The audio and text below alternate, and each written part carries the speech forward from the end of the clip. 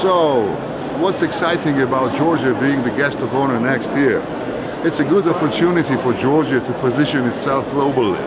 It's not only about literature, what will happen next year.